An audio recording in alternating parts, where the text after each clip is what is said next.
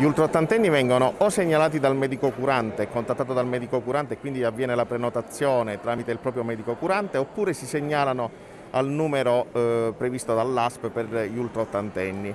Una volta prenotati vengono richiamati dall'ASP e eh, gli viene data la prenotazione con il giorno e l'ora in cui recarsi. Dalla prenotazione in media passano una decina di giorni, ovviamente questo qua è un tempo variabile perché dipende anche da, dalla disponibilità dei vaccini.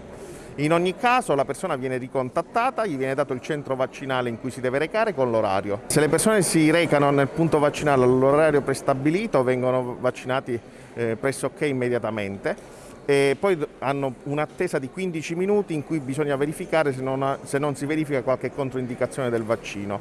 Dopo i 15 minuti può tornare tranquillamente a casa.